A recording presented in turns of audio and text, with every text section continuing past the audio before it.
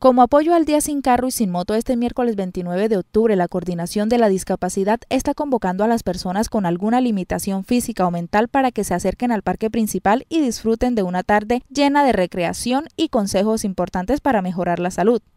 Eh, va a haber una jornada de salud, el personal del plan de intervenciones colectivas nos va a estar acompañando con los profesionales de nutrición, se van a estar entregando suplementos nutricionales, desparasitantes, eh, con salud oral, salud mental, salud sexual y reproductiva. Entonces, pues la invitación queda abierta para toda la comunidad en situación de discapacidad para que nos acompañen el día miércoles 29 a partir de las 2 de la tarde en la Plaza 29 de Mayo. Son diversas actividades recreativas para personas de todas las edades con alguna clase de discapacidad e igualmente una jornada de salud, las que se desarrollarán este miércoles en el parque principal a partir de las 2 de la tarde.